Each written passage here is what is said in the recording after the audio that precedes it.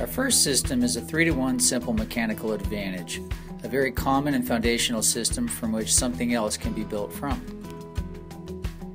Our second system is a 5 to 1 complex mechanical advantage. We start by building from the original 3 to 1 MA and we add an additional prusik and another pulley. Note that the pull direction has now been reversed.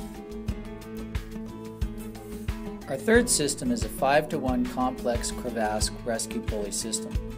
Technically not a progression from the complex 5 to 1 we originally made. This is an entirely new system. Quick and fairly easy, this system is a 3 to 1 simple MA pulling on a 2 to 1 simple MA.